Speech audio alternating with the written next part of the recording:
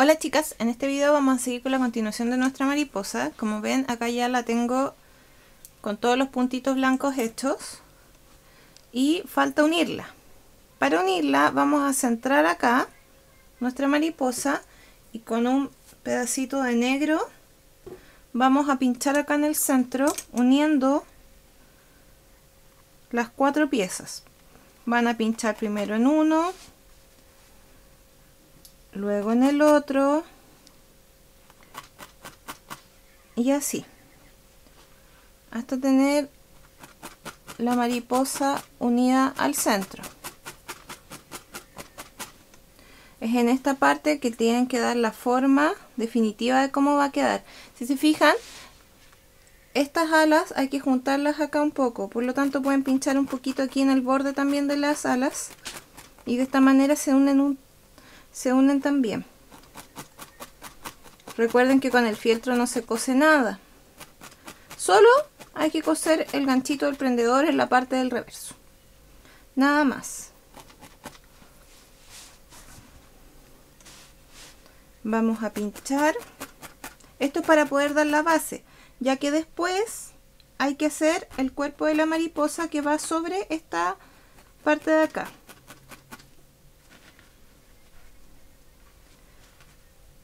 Es importante que se cercioren que realmente se está uniendo sin cubrir el trabajo que se hizo previamente con las alas. Si quieren unir este pétalo con este, tienen que trabajar así, de esta manera, tomando los dos pétalos y filtrando de, desde un ala hacia la otra.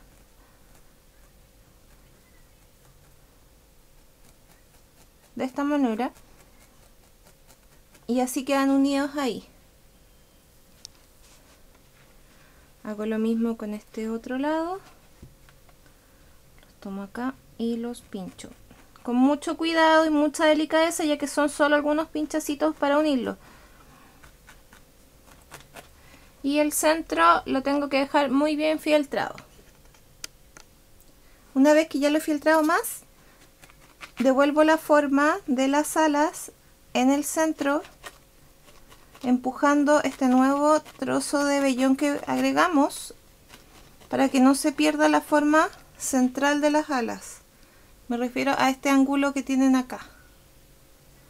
Por lo tanto desde el mismo ángulo entre ala y ala los empujo solo en el centro no en estos costados ya que estos costados los unimos para que las alas mantengan esa forma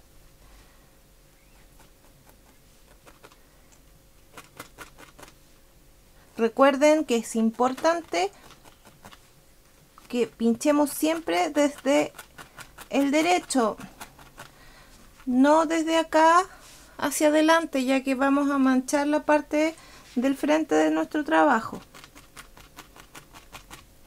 Una vez que ya lo tenemos listo,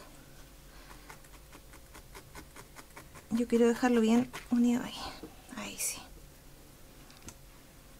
Cuando lo tengamos listo vamos a necesitar un palo de brocheta para poder hacer el cuerpo.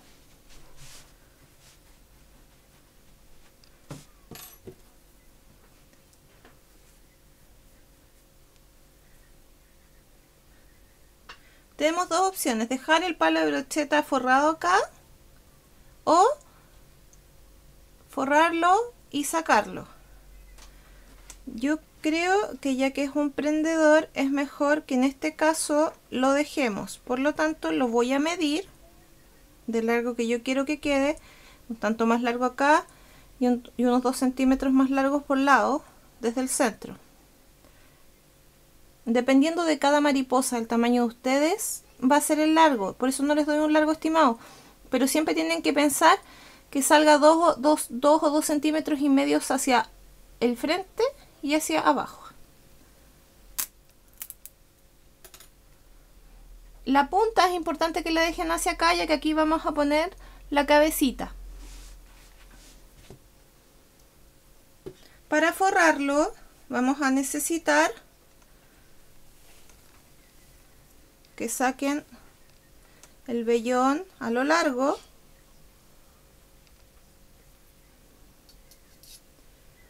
y comencemos a enrollar.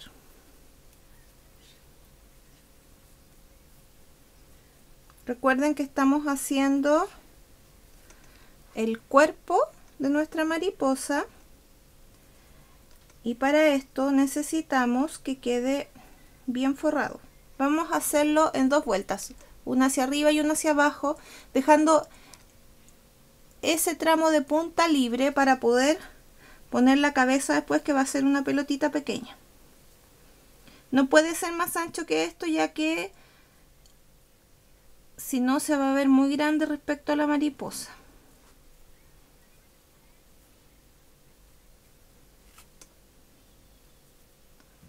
Una vez que termino acá abajo se pincha con mucho cuidado ya que al estar el palito adentro pueden quebrar la aguja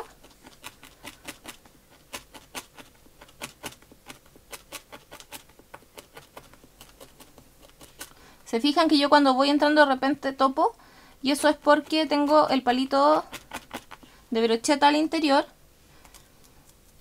Y el palito hace que la aguja frene ahí.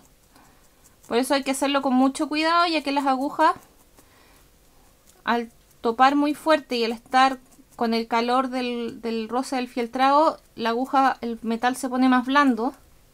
Y es por eso que también quiebran agujas muy fácil al topar con el palo más duro adentro la aguja se puede quebrar hago lo mismo en los dos extremos y un poco alrededor del cuerpo. No es necesario que lo filtre mucho ya que está bien enrollado y los extremos están bien asegurados. Por lo tanto, no se va a soltar el, el vellón. Lo que sí es bueno es ponerlo entre las manos y friccionarlo, ya que al friccionarlo generamos que el vellón mantenga el, el, filtrado y las, las pelucitas que van quedando queden pegaditas en lo que es el cuerpo. Lo pongo acá y se ve perfecto al tamaño. Ahora vamos a hacer la cabecita. También con un trozo pequeño de vellón. Vamos a enrollarlo como siempre lo hacemos para hacer las pelotitas. Pero esta como es más chiquitita la pueden ir girando en la misma cinta. La tienen que ir midiendo con su cuerpo para ver que no quede ni muy pequeña ni muy grande recuerden que va a encoger. Cuando la filtramos encoge. Acá la tengo formada y ahora la voy a pinchar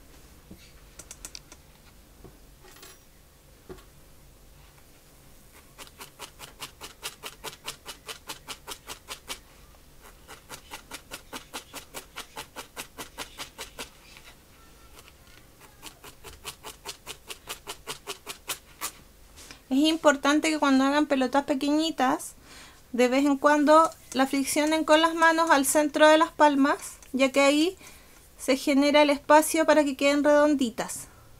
Y la continúan pinchando. Una vez que tenemos terminada nuestra cabecita, y está de acuerdo al tamaño que necesitamos, vamos a atravesar la aguja de fieltro para generar un espacio de esta manera para poner las eh, antenitas.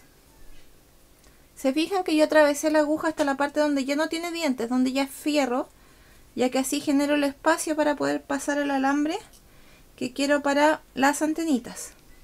El alambre que voy a utilizar es alambre de cobre de este delgadito que se usa para trabajar las para trabajar joyas o también hay un alambre que se usa para trabajar los adornos florales. Cualquiera de los dos les sirve. ¿Ya? De esta manera este es muy blandito, por lo tanto se puede torcer directamente con las manos. También se usa para hacer accesorios por lo blando que es. Al ser de cobre es un alambre blando pero si no tienen de este y tienen de otro, cualquiera les sirve. lo ideal es que sea un alambre que no se vaya a poner feo en el tiempo.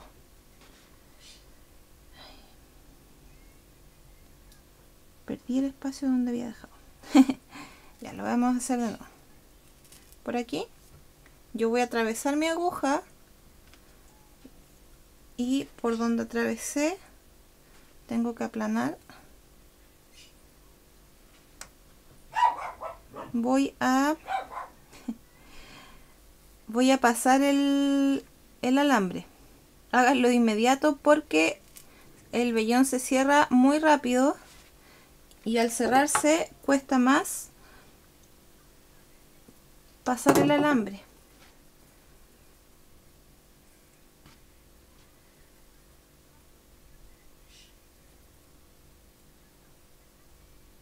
El alambre es tan blandito que pasa como que fuera una aguja.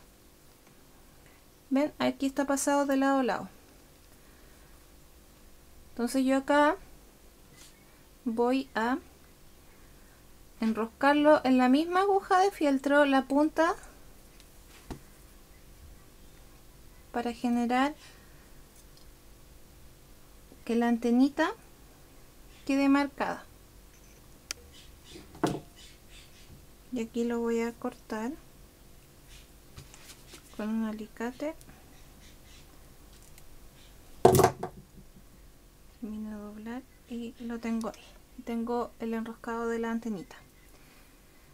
Si se fijan esto se empieza a mover. Entonces para que no les pase eso con el lado donde tienen el doblez del alambre pueden simular un punto como que lo hubiesen cosido acá y lo aprietan. Y así se frena para que no vuelva a moverse el alambre.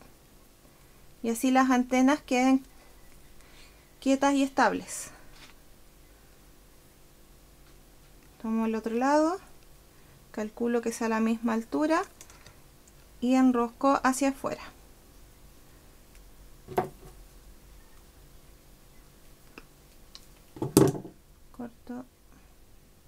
firme saco y ya tengo las antenitas. En la parte de la base voy a hacer lo mismo con la aguja pero no hasta pasar al otro lado sino que van a pinchar mucho en un solo punto. Para que en ese punto se facilite la entrada del palito donde hicimos el cuerpo. Falta un poco más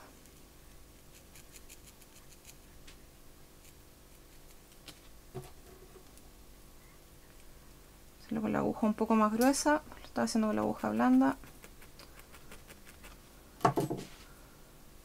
Lo paso.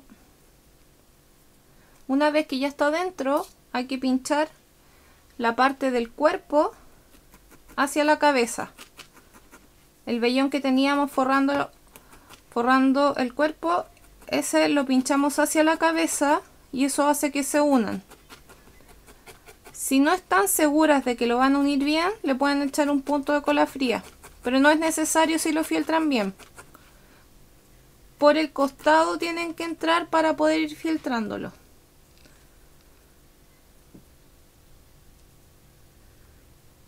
Y aquí tenemos el cuerpo y la cabecita de nuestra mariposa. Ahora solo falta colocarla acá. Se filtra desde el costado hacia el centro donde pusimos la unión para la mariposa con las alas. ¿Ya? ¿Se acuerdan que al principio del video centramos nuestra unión de las alas? Es en ese lugar donde tienen que fijar el cuerpo.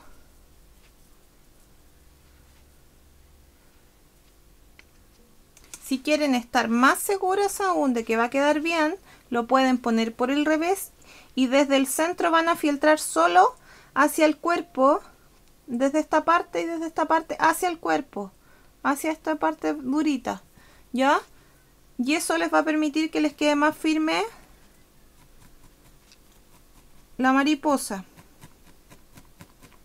Esta mariposa tiene dos opciones que ustedes la amarren acá y la dejen como colgante para decoración o que en la parte de acá atrás le cosan un alfiler de gancho con aguja hilo y le sirve como prendedor.